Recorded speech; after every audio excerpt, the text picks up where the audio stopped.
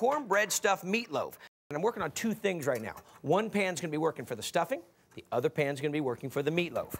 On the bacon, center cut bacon, whatever you like, this is about a pound. I'm gonna take about half of it, give it a nice little dice, and don't go too fast on this. I've got the pan down on low because I don't wanna burn the bacon. I just wanna let it slowly render down because I'm gonna use some of the fat from this bacon when I actually go ahead and cook some of the other ingredients for the stuffing. Okay. Next piece. Corn muffins. Well, you know, you probably have a big thing of corn muffins that you've made. And you got a couple that are sitting on the counter and haven't been used yet. The muffin is actually going to work like our, kind of like the stuffing in a Thanksgiving turkey. So, the oven's been preheated to about 275, 250, and we'll let these dry out in here for a bit.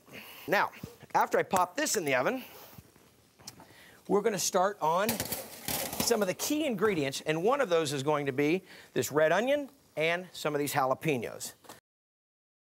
Now, half of the jalapenos are going to go into my meatloaf, and the other half are going to work into this cornbread stuffing.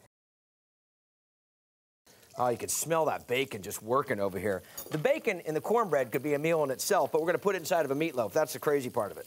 Now, that's in, and I'm just finishing up these beautiful bell peppers here, and I've got some garlic done and a little bit of jalapeno. Now what I've used is I've taken this bacon and cooked it down, and I've got some of the rendered fat from that, and that's gonna help me actually cook the red bells, some of this diced jalapeno, and I need to take about a third of this garlic and add this to the dish as well. There we go. And we'll let that all work together. Now on this side here, I'm gonna take about another third of this garlic that I worked, and we're gonna get that in there. We're not going to do the standard same old meatloaf with just ground beef. Ours is actually going to have a real nice incorporation of some ground pork into this bowl. Here's what we're going to work with first. First, we get in the ground beef. This is an 80-20, meaning 20% fat. And a lot of times you'll see people that are going 90-10. On something like this with the meatloaf, we do want to have that fat in there. Got two pounds of the ground beef, one pound of the pork.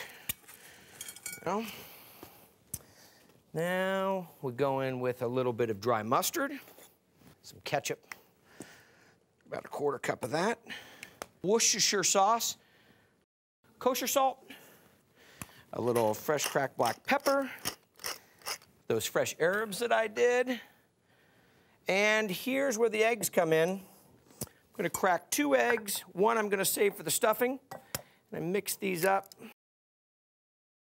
That in. And remember, we were letting the veg, the peppers and the onions and the garlic take a little time to mellow out over here. And we don't want to put them in too hot because if they go in too hot, they can actually start to cook some of that egg and some of the meat before we even get started. Now, you won't see it often, but you're going to see it now. When we go to meatloaf, we have to debling, okay? Because we're to be getting our hands all the way down into this, and we don't need it there later. Here we go. You can smell those peppers and onions right off the bat. There we go. Nice and light. Just want to make sure that we incorporate all these ingredients together. It's just how it should look. Okay. Get a view on that one? Mmm. Now this cornbread's been in here at about 200, 275 degrees, and it's gonna be the basis and the foundation that's gonna soak up all this great flavor and moisture out of the meatloaf.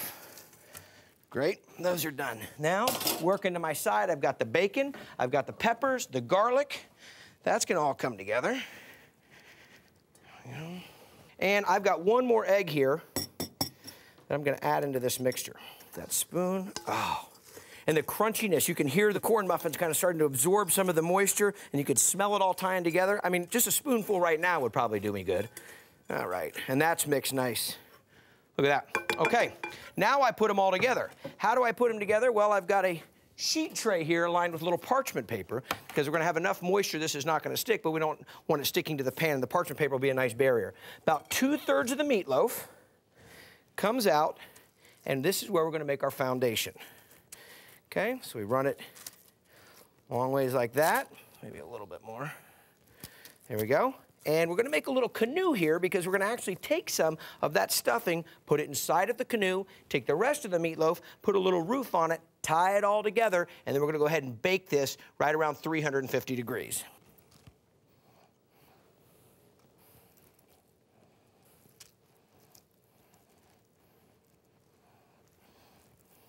Ah, look at that. You wouldn't even know that it's got stuffing cornbread in it. I'm gonna pop this in the oven for about an hour and a half. at 350 degrees. We want to check the temperature, make sure we're going in the right direction, and then also top it. So let's see where we're at. Not all the way to the bottom, right into the middle. Yep, right about 140, 145. Perfect. Now, on top of this, we're going to hit it with a little sliced cheddar cheese. Now, we didn't do this right at the beginning because the cheese would have all melted off. Great. Back into the oven for about another five minutes. There we are. Okay. Oh, it smells incredible. And I've got a great plate picked out for it. Oh, it's a big one. Oh, look at that. Look at that. It smells even better than it looks. So let's see how this is gonna look. Separate, oh my gosh. I tell you. And take a look at that. How beautiful.